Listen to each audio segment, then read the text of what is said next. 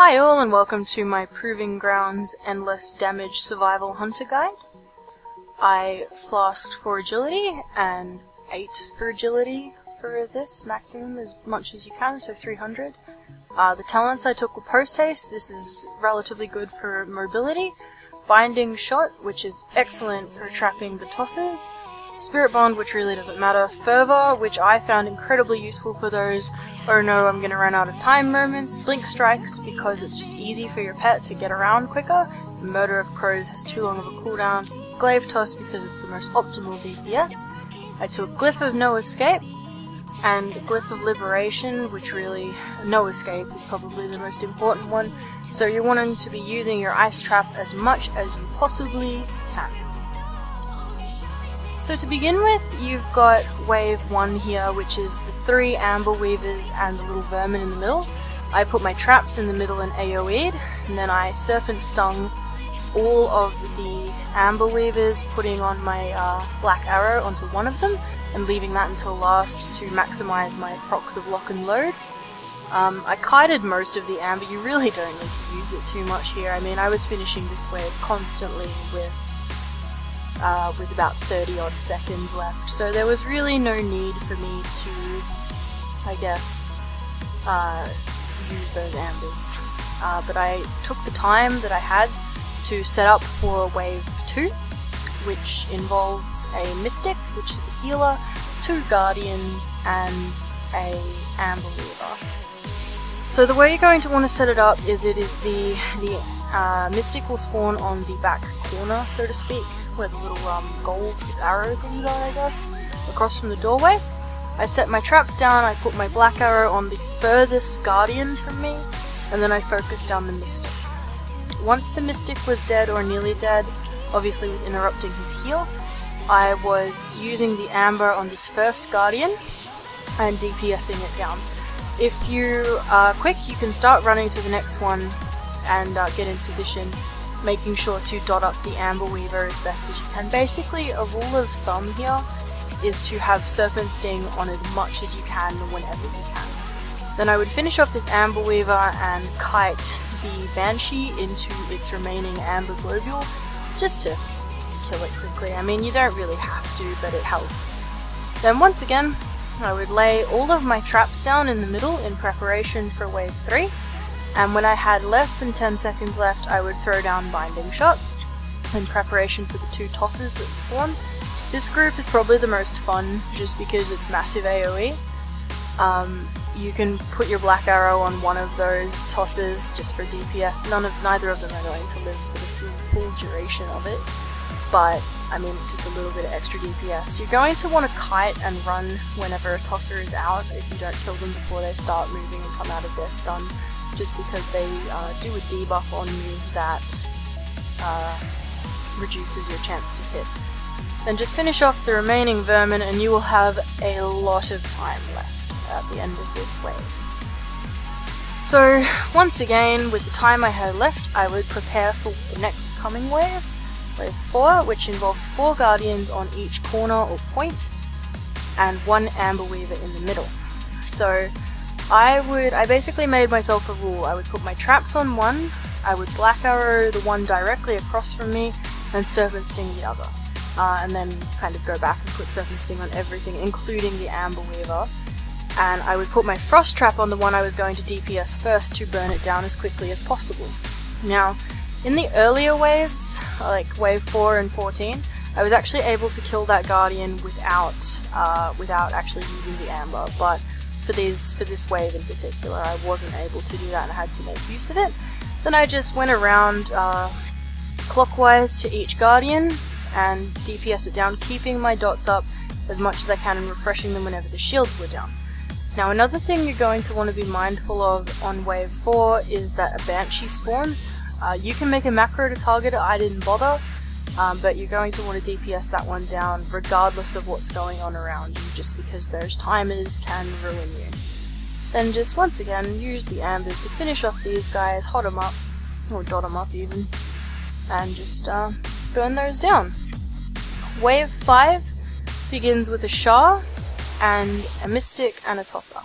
Uh, once you learn where they are, you can preemptively put your binding shot down, then you're going to want to interrupt the Mystic, burn that mystic, uh, that tosser down, then kill the Mystic, and dot up the Sha as much as possible, even though it has its damage reduction shield up until uh, about 20 seconds. You want to keep DPSing it down because it will still take an amount of damage. Now, as you can see, obviously I'm not hitting it very hard, about, what, 9k there for a crit, but it is damage on it, and if you've got nothing else to do, then why not?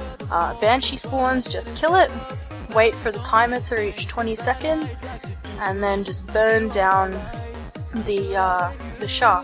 Now, I kept rapid fire for this particular wave, just because I wasn't sure if I would make it otherwise. Um, but in, again, in the earlier waves, I didn't need it. But for this last one, I decided not to take the risk and just went for it. Now, wave 6 spawns two mystics. I chose to trap one and interrupt the other, um, and then just AoE down the vermin in the middle. You're going to want to interrupt the heal, obviously, although if it does get off and the vermin are low, it's only going to heal the vermin, which is the point of burning them down as best as you can beforehand. Once the uh, once one mystic is dead, you can move on to the other. Um, as you can see there, it did just heal the vermin, which was really no big deal to me because they can just be kind of dotted down by your traps and by serpent sting while you focus down the mystic. Um, but its second heal you will be able to interrupt. Don't forget about Fervor at this point either, or at any point you're going to want to try and use it on cooldown, or when you expect to need a lot more burst, I suppose. Um, a little bit of an oh no moment. This wave was one of the ones I found the hardest. I tried my best to dot up as much as I could before focusing down that tosser and interrupting the Amber Weaver closest to me so I only had to deal with one globule at a time because it was just going to get too messy for me otherwise. You want to be mindful of those Berserker buffs because you want to save them for waves 9 and 10. So just watch that you don't stand on those. And again, the same tactic applies to this uh, this wave in that you want to dot up as much as possible. Um, I threw Black Arrow kind of between the Amber Weaver and the Higher Guardian, um, and make use of those globules as best as you possibly can while DPSing on the run and positioning yourself. If you do find yourself in risk of getting hit by the um, by the globules, you can pop Deterrence before it hits you, but there's uh, it, it will not break you out of the stun effect. So, I mean, you can pop it and make just a cancel aura, but other than that, you've just got to be careful. This wave I struggled on quite a lot, uh, in that I had to try and dot up. Uh, I put Black Arrow on one of the Slayers, Serpent Stung the other, and tried to burn the Absolute out of that Mystic. Now, three Banshees spawn on this wave. Uh, one, this first one spawns relatively early, and you should have time to burn it down and get that Mystic nice and low. Then finish off the Mystic and keep dots on the Slayers. You absolutely have to. Then you can move on to the next Banshee, and then a second one will spawn very close to it. Make sure you focused on the first one that spawns, or the first one you attack with, preferably that's the first one that spawns, because those timers do get a little bit scary. Then make sure you're keeping your dots up, your traps, your anythings on these slayers to get them as low as possible while you've got uh, enough time, because as you can see the timer does get very tight right there. Wave 9 isn't too difficult, you can throw your binding shot down. I chose to pick up the Berserker debuff uh, at the very beginning, just so I could get that uh, tosser down and then work on the Slayers. I line of sighted myself behind the Guardian to let it soak up the globules, and I would throw Serpent Sting on it and try and Serpent Sting the Weaver as well, while I burnt down those two Slayers. Once the Slayers were dead, I moved on to my Guardian little shield here, um, but be mindful that a Banshee does spawn. There is a fairly high chance that it will actually get hit by one of the globules and be really, really easy to kill, but in the event that it doesn't, don't stress, they don't have that much life, you just need to be mindful that they are going to spawn. Once everything on this wave is dead, get next to your uh, Berserker debuff or Berserker buff over there, and throw your traps down in the middle in uh, preparation for the final wave, which is simply a large illusionary Sha. You're going to want to, once again, DPS it as much as you possibly can uh, before its shield comes down, as well as when its shield does come down. But save your cooldowns for when the shield comes down.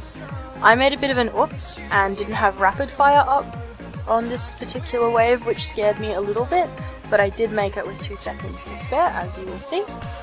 But other than that, this wave is really straightforward. When the timer reaches 30 seconds, pick up your Berserker debuff, because, your Berserker buff, sorry, because it will last 30 seconds, so you want it up for the rest of the wave for as much as possible.